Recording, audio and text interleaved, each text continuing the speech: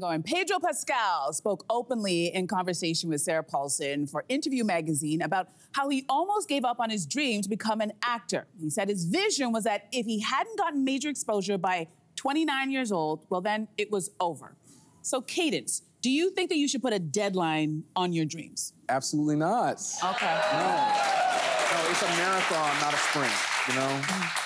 That's the thing. Being being an artist, you're gonna face constant rejection. It's like over and over. Mm-hmm. And it requires a certain kind of resilience. Mm-hmm. So I, I don't think you should quit unless, you know, of course, you're kind of whack.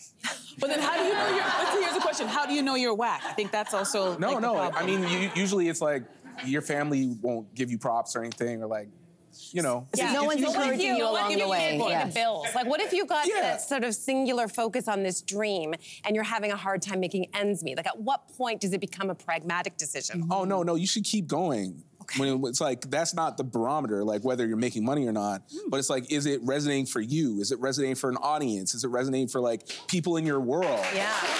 You know, if, if, if it, and, and also it's not. I don't like the idea of like quitting or like quitting, stopping your dream. Right. It's more like maybe you need to focus on something else that you're actually better at too. Well, that's what mm. I was thinking. Like, it's not so much about giving up on a dream as it is about being maybe flexible with the mm. dream. Like, if mm. Jaya came to me, like yourself, and said, like, Mom, I want to be a musician, which he probably will, uh-huh. and and you know, I want to be a bass player for a living. I might say, rather than like killing the dream, I'm not going to kill the dream. I'm not going to say no, because my parents didn't do that for me. I will be But I killing the might dream. say, Don't you you- kill the dream. I will be killing the dream. Why you, would you if your kill kid that to be a musician. Oh yeah, no, no. I want him to be like a lawyer or like a doctor. What? You all just that. contradicted yourself. Wait, you're an artist. How could you tell your kid not to become something that you are? Oh, you know, because I know it's it's a very hard life, and you know, it's my son. I want him to. Wait, wait, have wait. This better is so interesting. You're speaking to something that I know very well because I think there are. I was raised in a generation that I call the dream killer parent generation. Yeah, yeah. Right? Our parents came from other countries. They came here for a better life, and so they had expectations that their children would get jobs that were stable. This is why they came here. So when you say to them,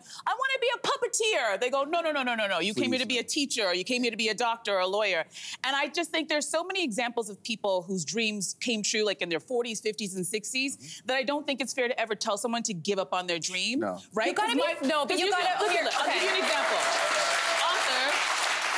Toni Morrison didn't write her first book until she was 40. She didn't uh, win her first Pulitzer until she was like 56, True. and she Okay, won her Nobel e- at 62. I love it. I love it. Listen, so how do we tell her not to listen, dream? e- For every story like that, there's thousands of stories of people who never ever got recognized. So I just want to be clear about that and the pragmatic. I'm not going to kill a dream, but what if instead of if somebody comes to you and says, "I want to be a musician," saying something like, "What else?" Is there related to that that you can? Maybe it's music therapy. No, Maybe it's like things that are also like you got to get clear about what it is that brings Mm. you joy because you can always be a musician on the side you can always be a music teacher like what are the pragmatic things because you are going to have to live somewhere you are going to have to put food on the yourself. table. and you know Yeah. there are some pragmatic considerations so it's like the dream needs to not be so rigid i think you need to like have a dream that's broad But then if you talk to the people who really have made their dreams come true, they'll tell you there was never a plan B. And the, the worst thing you can do is give yourself a plan B or an out. You But we only know their this, story because that was the one of the thousand that made it. I know, but there's I so think many to me, like what that. I what I focus on, at least for Pedro Pascal, not that I'm a huge follower of his, but he's got a big fan base, right? And he said 29,